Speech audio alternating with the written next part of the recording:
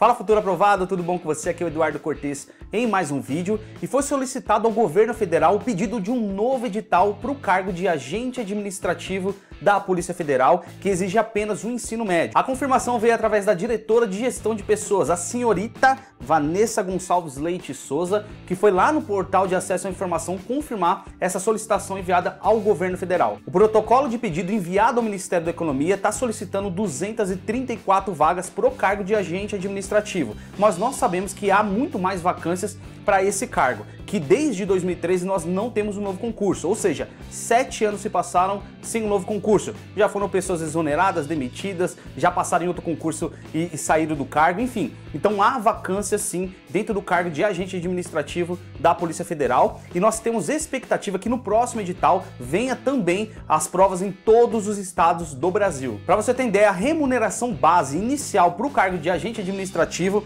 é de até R$ 4.746,00 16 centavos, que é o que faz toda a diferença. Bem, por que, que eu trouxe esses dados aqui para você, para você se situar um pouquinho mais para esse concurso? Porque eu recebo muitas mensagens de alunos que estão estudando há 2, 3, 4 anos para esse edital e com essa incerteza que a gente está vivendo aí de ter ou não ter concurso, das leis complementares estão suspendendo ou não concursos públicos, eu venho te tranquilizar e falar para você continuar estudando para esse edital. Por quê?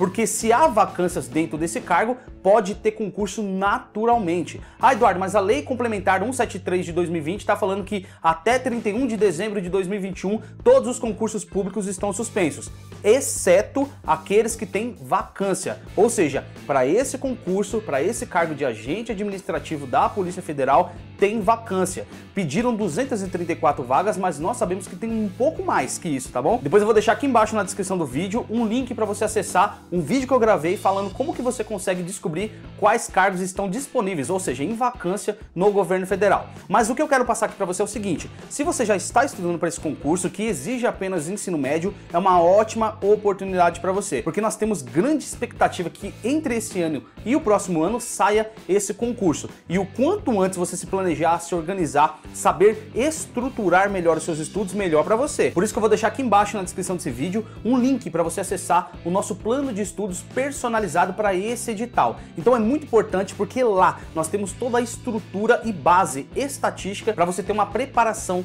de muita qualidade. E se você tiver alguma dúvida em relação a como estudar para esse concurso, como se preparar de forma mais qualificada, deixa aqui embaixo nos comentários qual é a sua dúvida, que a gente vai estar tá gravando uma série de vídeos falando exatamente de todas as disciplinas para esse concurso, ok? E se você gostou desse vídeo, não esquece de deixar o seu like e se inscrever no canal se você ainda não é inscrito, acionando o sininho de notificação para você não perder nenhuma novidade sobre esse concurso de agente administrativo da Polícia Federal. Então, ótimos estudos para você, pode sempre contar comigo e continue estudando.